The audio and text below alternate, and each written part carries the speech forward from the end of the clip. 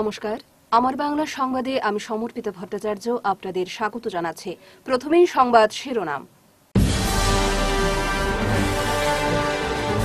প্রদীপ দত্ত রায়ের নেতৃত্বে নয়া আঞ্চলিক দল গঠিত।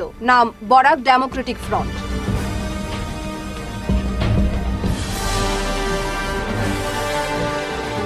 কৈবর্ত পরিষদের শিলচর কমিটির সাধারণ সভা সম্পন্ন। ভোটাভুটি ঘিরে উত্তেজনা।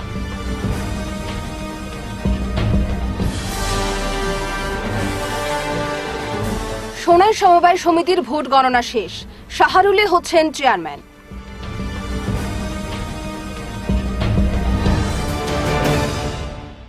এবারে বিস্তারিত আমার বাংলা সংবাদ। বরাক উপত্যকার প্রতি দীর্ঘদিনের বঞ্চনার প্রতিবাদে এবং সার্বিক উন্নয়নের লক্ষ্যে অবশেষে আঞ্চলিক দল গঠন করলেন প্রাক্তন আকশা নেতা প্রদীপ দত্ত রায়, যার নাম দেওয়া হয়েছে বরাক ডেমোক্রেটিক ফ্রন্ট। শনিবার বরাক উপত্যকার প্রতি বঞ্চনা ও বৈষম্যের প্রতিবাদে সরব প্রদীপ দত্তরায়ের নেতৃত্বে শিলচরের মধ্যশহর সাংস্কৃতিক সমিতির সভাকক্ষে এক গণ অভিবর্তন অনুষ্ঠিত হয়।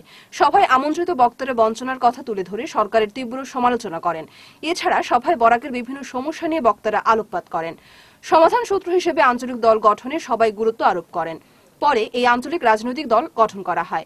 এর মুখ্য আহ্বায়ক হিসেবেও রয়েছেন প্রদীপ দত্ত রায়।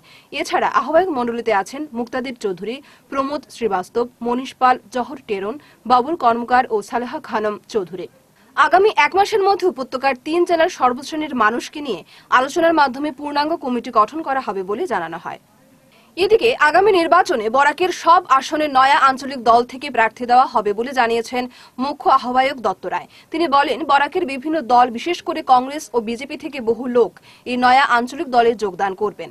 বরাকের প্রতি যে চরম বৈষম্য এবং বঞ্চনা চলছে,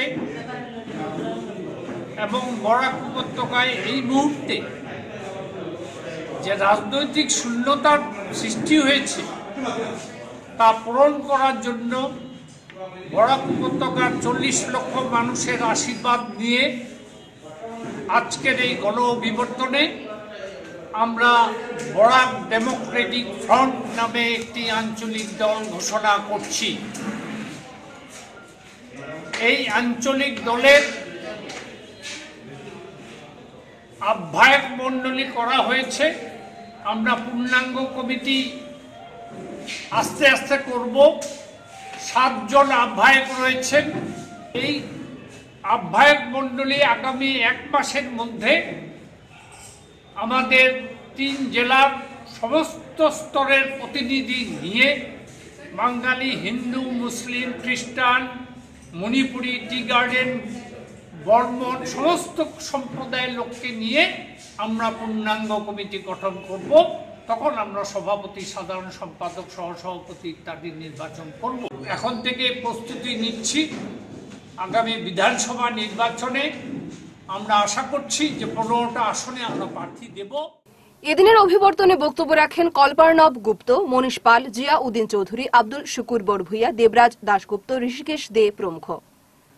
বরাক উপত্যকার কৈবর্ত সমাজ উন্নয়ন পরিষদের শিলচর শহর কমিটি গঠনের উদ্দেশ্যে শনিবার গান্ধী ভবনে এক সভা অনুষ্ঠিত হয়। সভায় পরিষদের সাংগঠনিক আলোচনার পর সভাপতি ও সাধারণ সম্পাদক পদের জন্য নির্বাচন প্রক্রিয়া শুরু হয়। কৈবর্ত সমাজের বৃহৎ এই সংগঠনের পদাধিকারী হওয়ার জন্য সদস্যদের উৎসাহের সীমা ছিল না, তবে ছিল গোষ্ঠীবাজিও। দুটি গুরুত্বপূর্ণ পদে ভোট গ্রহণ এবং গণনা এই প্রতিবেদন আসা পর্যন্ত চলছে। দুটি শিবিরের মধ্যে উত্তেজনা দেখা দেওয়ায় ভোট প্রক্রিয়ায় বিলম্ব ঘটে, তাই ফল প্রকাশেও বিলম্ব ঘটছে বলে জানানো হয়েছে।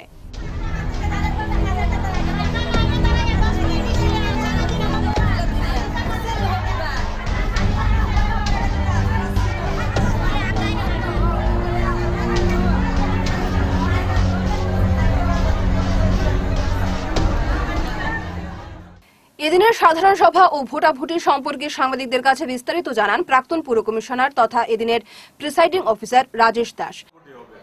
আজকে এই কাছাড় ডিস্ট্রিক্টের যে দশটি ব্লক, সেই দশটি ব্লকে কমিটি গঠনের প্রক্রিয়া শুরু হয়েছে।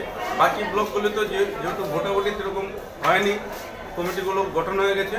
শুধু আমাদের এই শিলচর শহরমণ্ডল উধারবন ব্লক এবং কালাইন ব্লকে ভোটাভুটি এখনও চলছে। শিলচর শহরের যে গণনা, সেটা আমার মনে হয় রাত দশটা থেকে এগারোটায় আমরা রেজাল্ট জানতে পারব। সোনার সমবায় সমিতির বোর্ড অব ডিরেক্টরের দুর্বল সদস্যের আট সদস্য বাছাইয়ে গত পঁচিশে নভেম্বর একুশ প্রার্থীর মধ্যে ভোট গ্রহণ অনুষ্ঠিত হয় সোনাই পুরসভা কার্যালয়ে। শুক্রবার বিকেল তিনটে থেকে শুরু হয় ভোট গণনা। এদিন রিটার্নিং অফিসার জাকির হোসেন ও সহকারী রিটার্নিং অফিসার ফখরুল আলম চৌধুরী এবং সোনাই পুলিশের সিআই আব্দুল বাসিদের উপস্থিতিতে ভোট গণনা চলে, শেষ হয় রাত সাড়ে দশটায়। গণনা শেষে রিটার্নিং অফিসার আট বিজয়ীদের নাম ঘোষণা করেন। তারা হলেন আবু সিদ্দিক লস্কর, নজরুল হক, সৈফ উদ্দিন, টিঙ্কু মজুমদার এ এইচ আল বক্কর লস্কর, রঞ্জিত সিংহ, ফারুক আহমেদ লস্কর ও শহীদ আহমেদ লস্কর। আজকে যে পনেরো জন তাদেরকে ঘোষণা করেছে বোর্ড অফ ডাইরেক্টরস হিসাবে ওনাদের অ্যাপ্রুভেল পাওয়ার পর ওনারা একটা বিজ্ঞপ্তি দেবে ফার্স্ট মিটিংয়ের এই ফার্স্ট মিটিংয়ে সভাপতি এবং সহসভাপতি নির্বাচন করা হবে। ফার্স্ট মিটিং এটা বিজ্ঞপ্তি বের হওয়ার পর মিটিং এটা- বিজ্ঞপ্তি বের হওয়ার পর যে আগামীতে কবে মিটিং করছেন ওনাদের সিদ্ধান্তে মিটিংটা অনুষ্ঠিত হবে। এই পনেরো জন কোন দিন বসবে একত্রে? বসে ওনারার মধ্যে থেকে চেয়ারম্যান একজন একজন ভাইস চেয়ারম্যান নির্বাচিত করা আর। এখানে কি নির্বাচন হওয়া হবে বা আপনারা রিটার্নিং অফিসার হিসেবে আপনারা উপস্থিত থাকবেন? থাকব অবজারভার হিসাবে থাকব একজন। বোর্ড অফ ডাইরেক্টর যেদিন নির্বাচিত নির্বাচিত করা হবে আমাদের অফিসের তরফ থেকে আসবেন রিটার্নিং অফিসার আসতে পারি। অবজারভার হিসাবে কেউ একজন থাকতে পারে। যদি দেখা যায় প্রতিদ্বন্দ্বী দুই তিনজন থাকেন তাহলে হয়তো গোপন ব্যালটে নেওয়া হবে। আর নতুবা যদি আনএনিমাসলি সিলেক্টেড হয়ে যায় প্রয়োজন যদি হয় না তাহলে আনএনিমাসলি চেয়ারম্যান এবং ভাইস চেয়ারম্যান সিলেক্ট করবে ওনারা পনেরো জনের মধ্যে এদিকে নির্বাচনের আগে সবল চারজন সংরক্ষিত মহিলা দুজন এসি এক এক সদস্য নির্বাচিত হন। সোনাই সমবায় সমিতির বোর্ড অব ডিরেক্টরের আট দুর্বল সদস্যকে জিতিয়ে নিজের চেয়ারম্যান পদটি শক্ত করে নিলেন শেখ সাহারুল আলম। তার আগে তিনি বিনা প্রতিদ্বন্দ্বিতায় সবল শ্রেণি থেকে জয়ী হন। এবারের নির্বাচনে পূর্বাঞ্চলের প্রার্থী শেখ শাহরুল আলমের নেতৃত্বে গোপন একটি জোট হয়েছিল। শাহরুলের কলা কৌশলে দুর্বল এই আট সদস্য একুশ জনের মধ্যে সহজভাবে বিজয়ী হন। শুক্রবার রাতে ভোট গণনা শেষ হওয়ার পর শাহরুলকে নিয়ে জিন্দাবাদ ধ্বনিও দিতে শোনা যায়। শাহরুল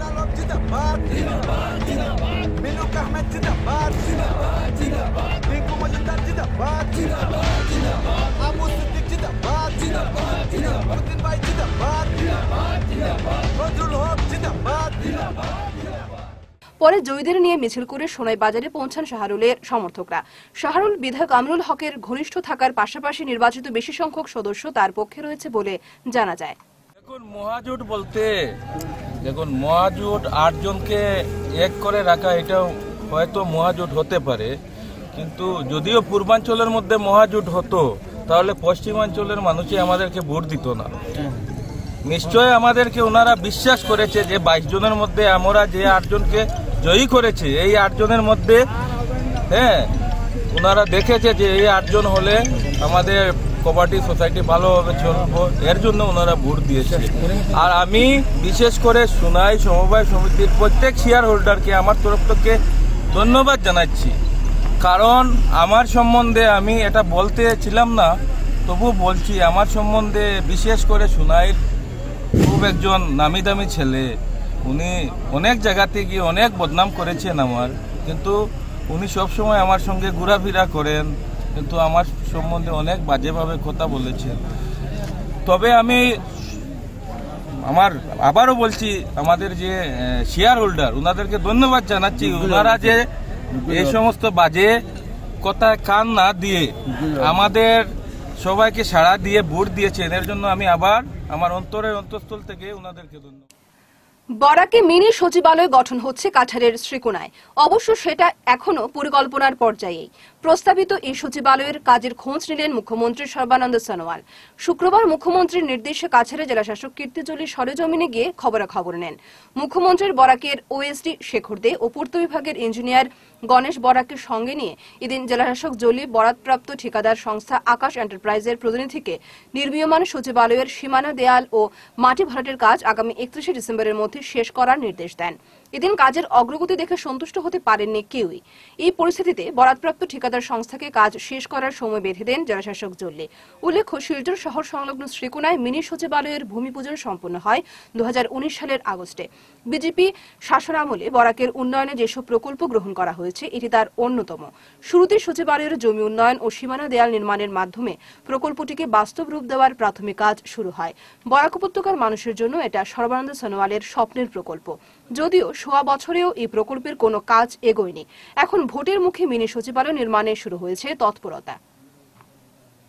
অসমের তিনবারের প্রাক্তন মুখ্যমন্ত্রী তথা কংগ্রেসের বরিষ্ঠ নেতা তরুণ গগৈ ও সর্বভারতীয় কংগ্রেসের আরেক বরিষ্ঠ নেতা আহমেদ প্যাটেলের মৃত্যুতে গভীর শোক প্রকাশ করে স্মৃতিচারণ সভা করল সোনাই ব্লক কংগ্রেস কমিটি। স্মৃতিচারণ সভায় বক্তব্য রাখতে গিয়ে সোনাইয়ের প্রাক্তন বিধায়ক তথা এপিসিসি সদস্য এনামুল হক লস্কর বলেন এক সপ্তাহের মধ্যে কংগ্রেসের দুই মহাপুরুষের মৃত্যুতে তারা অত্যন্ত শোকাহত। প্রাক্তন মুখ্যমন্ত্রী তরুণ গগৈর নেতৃত্বে অসম সহ কংগ্রেস দল শক্তিশালী হিসেবে গড়ে উঠেছে। প্রাক্তন মুখ্যমন্ত্রীর হাত ধরে সোনাই এলাকায় অনেক উন্নয়নমূলক কাজকর্ম হয়েছে বলে জানান তিনি।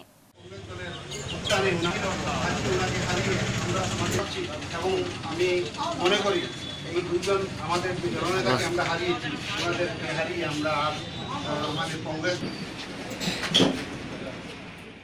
পরে সর্বভারতীয় কংগ্রেস নেতা তথা সাংসদ আহমেদ প্যাটেলের প্রয়াণে কংগ্রেসে এক মহাশূন্যতার সৃষ্টি হয়েছে বলে জানান প্রাক্তন বিধায়ক এনামুল হক লস্কর।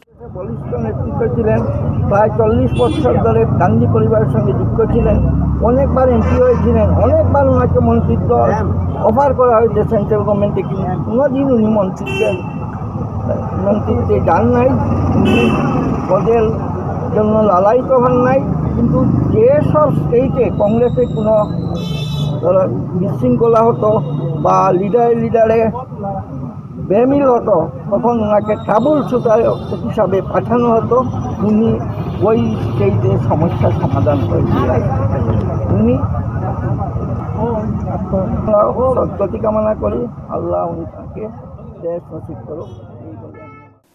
স্মৃতিচারণ সভায় বক্তব্য রাখেন জেলা কংগ্রেসের সাধারণ সম্পাদক আক্তার হোসেন বরভুইয়া সংখ্যালঘু সেলের জেলা উপসভাপতি ফেজুর রহমান লস্কর, সোনাই ব্লক কংগ্রেস সভাপতি খসরু আলম চৌধুরী সহ অনেকে। সদ্য প্রয়াত গৈরিক ভারতের বরাক উপত্যকার সাধারণ সম্পাদক সুদীপ্ত ঘোষ ওরফে তপুর অকাল প্রয়াণে শোকস্তব্ধ পুরো গৈরিক ভারত পরিবার। মানসিকভাবে প্রায় ভেঙে পড়েছে পুরো সংগঠন।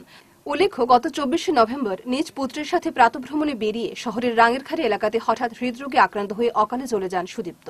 শনিবার এ নিয়ে কাছাড় জেলা সমিতির তরফ থেকে একটি শোকসভা আয়োজিত হয় শিলচর তারাপুরের প্রণবানন্দ বিদ্যা মন্দিরে।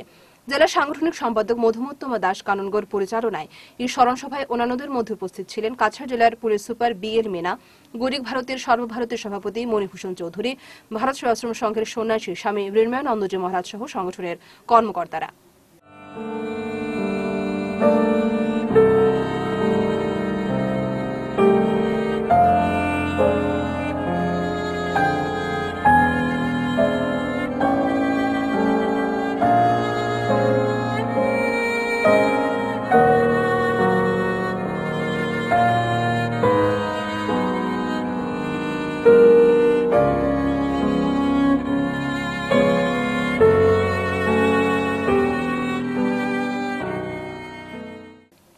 এদিন উপস্থিত সবাই সুদীপ্তের জীবনশৈলী নিয়ে আলোচনা করেন। গরিব ভারত এমন এক কর্মীকে হারিয়েছে যে সবার সুখে দুঃখে এক পায়ে দাঁড়িয়ে থাকতেন। বিশেষ করে গরিব মানুষদের অন্ন বস্ত্রের জন্য আপ্রাণ চেষ্টা করতেন। তার মতো একজন মানুষকে আজীবন সংগঠন খুঁজে বেড়াবে বলে জানান তারা। পরে পুলিশ সুপার মিনা গরিব ভারতের প্রতিজনকে সামাজিক কাজের শুভেচ্ছা জানিয়ে সুদীপ্তের অসমাপ্ত কাজকে এগিয়ে নিয়ে যাওয়ার আহ্বান জানান। শনিবার কাছাড় জেলার নরসিংপুর উন্নয়ন খণ্ডের কার্যালয়ে এক সচেতনতামূলক সভা করলেন প্যারাসাইকেলিস্ট রাকেশ বণিক। মূলত আসামে গ্রাম উন্নয়ন প্রকল্পের সজাগতার উদ্দেশ্যে গত পঁচিশে সেপ্টেম্বর সাইকেল যাত্রা শুরু করেছিলেন রাকেশ। এই যাত্রার অঙ্গ হিসেবে শুক্রবার তিনি শিলচরে পৌঁছান। তারপর শনিবার কাছাড় জেলার জেলা পরিষদ কার্যালয় ও নরসিংপুর উন্নয়ন খণ্ড কার্যালয়ে দুটি সভায় অংশগ্রহণ করেন তিনি। এদিনের সভায় উপস্থিত ছিলেন কাছাড় জেলা পরিষদের সিইও দীপশিখা দে, নরসিংপুর খণ্ড উন্নয়ন কার্যালয়ের বিডিও প্রবাল দাশগুপ্ত সহ অনেকে। কি করেছি? আর ওনার যেটা সজাগতা, এটাতে আশা করব উনি যেহেতু ডিফারেন্টলি এবল একজন পার্সন হয়ে এতটা করতে পেরেছেন, আর আমরা হস্তপদাদি সংযুক্ত এতগুলো মানুষ, আমরা কেন পারব না? আমাদের সবাই ভেতরে এই চেতনাটা জাগতেই লাগবে। আর আমি ভাববো উনার আশাটাই আমাদের জন্য ডিপার্টমেন্ট থেকে একটা বিশেষ আশীর্বাদ, যাতে করে আমরা সবাই এগিয়ে যেতে পারি। হাইলাকান্দি শহরের রতনপুর রোডের রেল লাইনে শুক্রবার রাত থেকে একটি যাত্রীবাহী ট্রেন বন্ধ থাকায় লোক চলাচলের পথ বন্ধ হয়ে যায়, যার ফলে পথচারীরা পায়ে হেঁটে রেল ক্রসিং অতিক্রম করতে পারেন না। ট্রেন বন্ধ থাকায় তাদের দেড় কিলোমিটার পথ ঘুরে যেতে হয়, এমনকি অনেকেরই ট্রেনের নিচে মাথা ঢুকিয়ে যাতায়াত করতে হয়। এতে জনদুর্ভোগ চরমে ওঠে। শনিবার আইনজীবী মফজ্জল হোসেন বরভুইয়া মুহির নেতৃত্বে রেললাইনে অবাঞ্ছিতভাবে বন্ধ রাখা ট্রেন সরানোর দাবিতে বিক্ষোভ প্রদর্শন করেন এলাকার জনগণ। এদিন তিনি ভুক্তভোগী জনগণের তরফ থেকে রতনপুর রোডে রেল ক্রসিংয়ে উড়াল সেতু নির্মাণ করে যাতায়াতের সমস্যার স্থায়ী সমাধান করার দাবি জানান। এলাকার জনসাধারণ এবং রতনপুর, বাদরপুর পূর্বাঞ্চলের জনসাধারণে বৃহত্তর আন্দোলন করব এবং আজকের মাধ্যমে আমরা দাবি জানাই আর, হয় এটারে ফ্লাইওভার করতে লাগবো, আর নতুবা একটা ফুট ব্রিজ দিতে লাগবো। আমরা দাবি হইল, এটা ফ্লাইওভার করা হইতো এটা ফ্লাইওভার করতে হইব, আর নতুবা ট্রেনের ইয়ার্ড এখান থেকে সরিয়ে লইয়ে যাও, এটাই আমরা দাবি। এবং আজকে আমি আসাম সরকারের ওটাও নিন্দা জানাই আর, এর লাগে নিন্দা জানাই আর, এটা একটা এমন একটা এরিয়া যে এরিয়াটার মধ্যে লক্ষ লক্ষ মানুষ চলাচল করে। এই রোডটা শিলচরের লগে সংযুক্ত, এবং এই রোডটা এবার বন্ধ করা মানে মৌলিক অধিকার থেকে মানুষের ডিপ্রাইভ করে রাখা হয়েছে। এবং we will not accepted I am warning to the Assam government people side can't be stopped in such a way blocking the road. And we will agitate against this mat- taking this matter and we are requesting to the Assam government and as well as the deputy commissioner of Hailakandi district to take over the matter consulting with the railway department immediately train should be shifted from this yard otherwise we will agitate বাইকের ধাক্কায় পা ভেঙে যায় আট বছর বয়সী এক নাবালক শিশুর দুর্ঘটনাটি ঘটেছে কালীগঞ্জের চরগোলা পূর্ত সড়কে। জানা যায়, শনিবার আনুমানিক পাঁচ ঘটিকায় A S one zero A seven zero two nine নম্বরের পালসার বাইক দ্রুতগতিতে থাকায় হঠাৎ করে নিয়ন্ত্রণ হারিয়ে ফেলায় গ্রামের আসলাম উদ্দিনের আট বছরের ছেলের পায়ে সজোরে ধাক্কা মারে।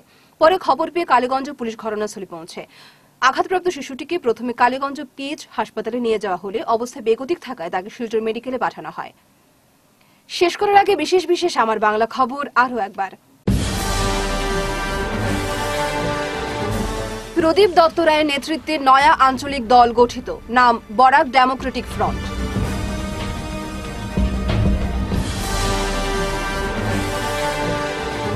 কৈবর্ত পরিষদের শিলচর কমিটির সাধারণ সভা সম্পন্ন। ভোটাভুটি ঘিরে উত্তেজনা।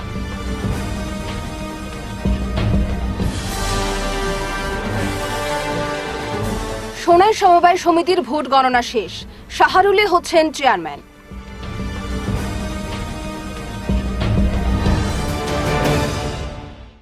এখনকার মতো আমার বাংলা সংবাদ এ পর্যন্তই। নমস্কার।